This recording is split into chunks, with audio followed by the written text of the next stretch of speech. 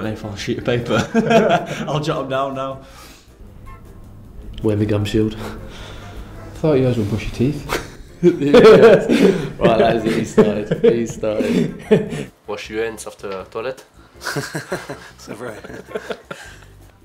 Man, when I used to go out, like, well, when I go out, she still waits up till I get in. Like, it's not never normally later. Oh, they call me Cinderella, like I'm normally in by twelve. But I've always got a text off my mum, "Are you home all right?" I'm like, nearly thirty, mum. Come on. Still doesn't wash him for me, but that's about it. She's still braiding.